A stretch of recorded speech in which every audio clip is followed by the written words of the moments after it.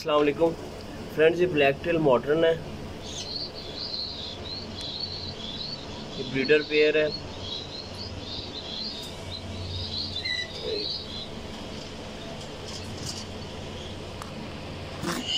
ये मेल है और ये फीमेल है। इनकी टेल हमने साइड से ट्रिम की हुई है ताकि अंडे फर्टाइल हों। ये ट्रिम करने पड़ते हैं साइड से। कुछ लोग इसकी पूरी कटिंग कर देते हैं टेल की, लेकिन मैं साइडों से सिर्फ़ कटिंग करता हूँ। तो ताकि इसकी जो खूबसूरती है वो भी थोड़ी बरकरार रहे।